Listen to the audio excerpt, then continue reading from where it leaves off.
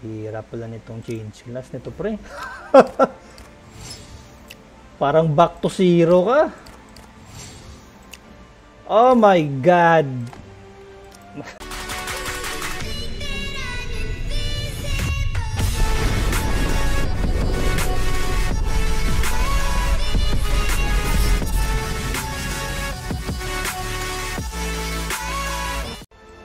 So, try natin mag-change class na. Siyempre, Ayan, Arbalist tayo. So, choose class, tapos, na pa, um, lahat ng requirements dito, okay naman sa atin, green na.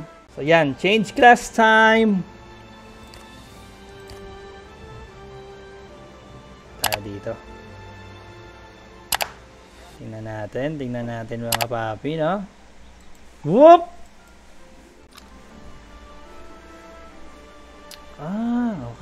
So, na-lock siya, no? Eh, yung magic stones, men. Magic stone, no? Ah, pwede naman pala. So, sa magic stones, pwede. Carry over yung magic stones. Um, what else? Spirits. Andyan pa naman sila. Okay, andyan pa naman yung mga spirits natin. Um, Constitution, same, 6 inner force. Ngayon, so gagawa talaga ng bagong ano, equipments. Sabi ko nga eh, kung pwede lang ano, kung pwede lang yung mga sorceress or sorcerer natin na equipments, yung armor, saka weapons, eh, exchange through gold. Then, yun. Um, outfit naman, sa outfit pala. So, kung anong outfit mo na nabili doon pala sa ano, sa sa sorcerer mo, yung equivalent outfit niya is makikita din dito. Naka-carry over yung outfit. Ayos oh. Ang gandang outfit dito, men.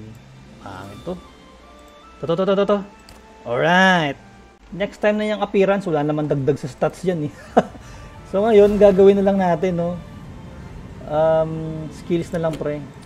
Pataas natin yung skills.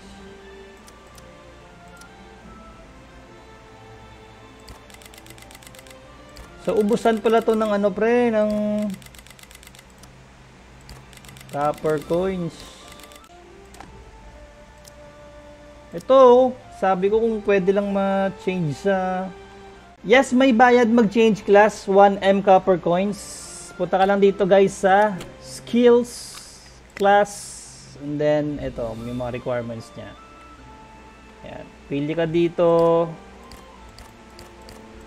Uy, mag, pag nag-create class ulit, 4,000 gold, no? So, yun lang, mag-change, pag nag-change ka ng class, guys, hindi maka-carry over yung equipments, your weapon, and then mga armors. Ito weapon saka armors, hindi yan maka-carry over sa new class mo. And then yung skills, back to zero ka talaga sa skills. Ito, ayun o. Ayan, tier 1 na lang yan pre. So parang umulit ka pala ng ano ng character na to.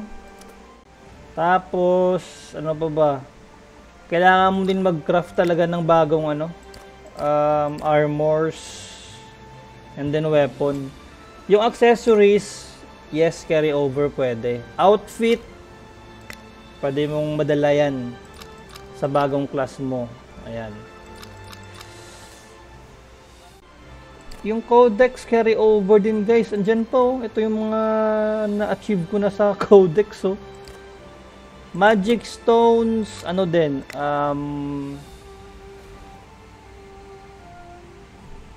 included din sa new class mo. Spirits, okay din. Maano man lang, masubukan mo lang tong arbalist na to, pre.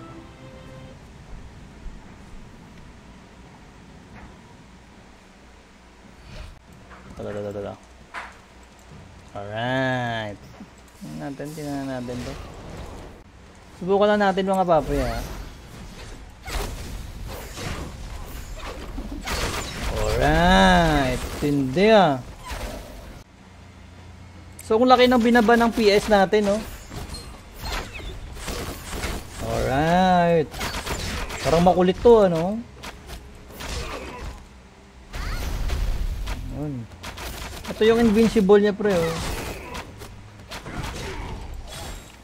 Stealth. Pero ano lang yan, dalawang segundos.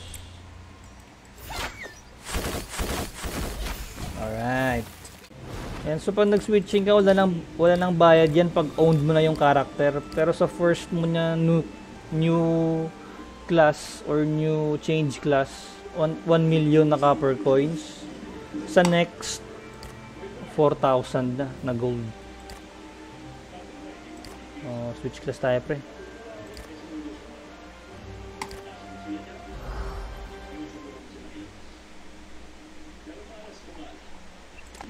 Yun.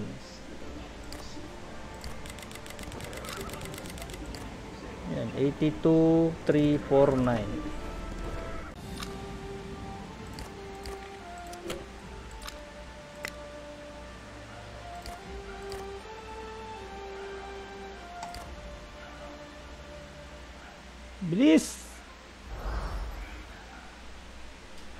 Ito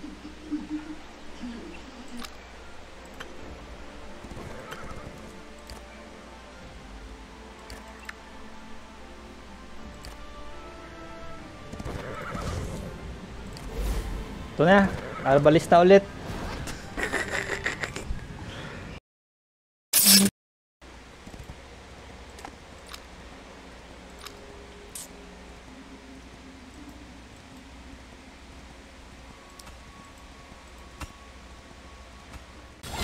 Uy!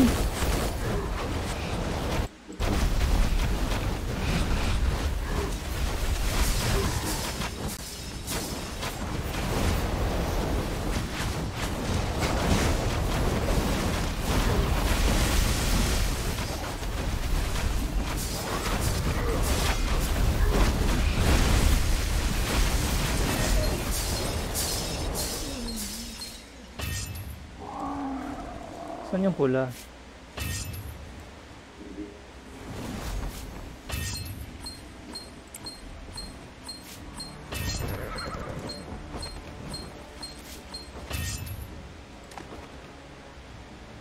Um, again, no, pag nag-change kayo guys sa new class, ang mare-retain lang, example, in my case, my original class was um, sorceress. So pag nag-change class ka sa Arbalist, ang ma-retain mo lang is your chara- original character level.